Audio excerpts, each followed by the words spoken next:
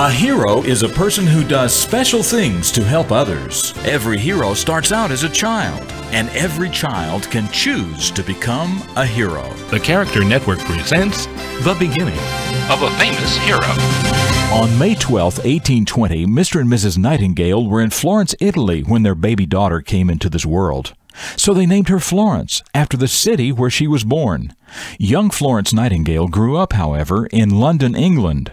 As a child, she studied several languages, including Greek, Latin, German, French, and Italian. Mr. Nightingale taught her math, too, while her governess taught her music and art. Everyone thought that Florence would grow up to be an upper class, proper lady and spend her life entertaining high society folk in London. But Florence had other ideas. She wanted to help sick and disabled people get well and have better lives, so she began studying nursing. Her family and those who knew her could not understand why she would do that because at that time nurses were not respected very much, and hospitals were usually dirty and poorly equipped. Florence spent a lot of time helping those who were sick and hurt, but more and more she was shocked to see how hospitals were operated and how nurses were treated.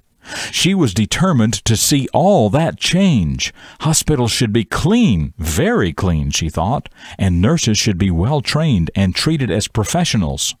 Well, over the years, Florence Nightingale did begin to see things change, and it was her determination that got it all started.